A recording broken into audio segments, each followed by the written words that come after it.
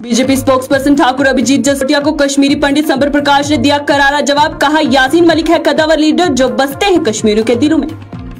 BJP के तर्जमान ठाकुर अभिजीत जसरोटिया ने हालिया में ही एक बयान में कहा था कि कश्मीरी पंडितों में संबित प्रकाश काली बेड़ है और कश्मीरी पंडितों के कातलों का साथ उनका उठना बैठना है। इसी का करारा जवाब देते हुए संबित प्रकाश ने कहा है कि यासीन मलिक एक कदावर लीडर है जो कश्मीरियों के दिलों में बसते हैं और उन्होंने हमेशा बातचीत को तरजीह दी है, न के गन कल्चर को। न्यूज़ इंसाइडर से बात करते हुए क्या मजीद कश्मीरी पंडित संबित प्रकाश ने कहा है? आए देखें हमारे नुमाइंदे शोएब नबी। की ये खास रिपोर्ट।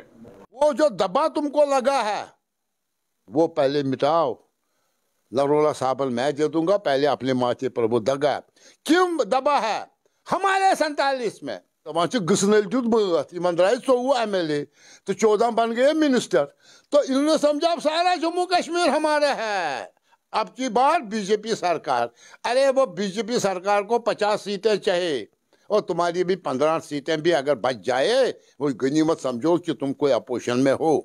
बीजेपी कौन सी खुदा है? हिटलर की फौज है। BJP is a political party I respect Narendra Modi. थच पे रुकिन इन आय पतम लट चौवह सीट तम थप दित है ना? ये तो रिजल्टमेंट एंगर हूँ मैं अपने आप को सबसे बड़ी इंसल्ट समझूँगा कि जो कल आया है बीजेपी में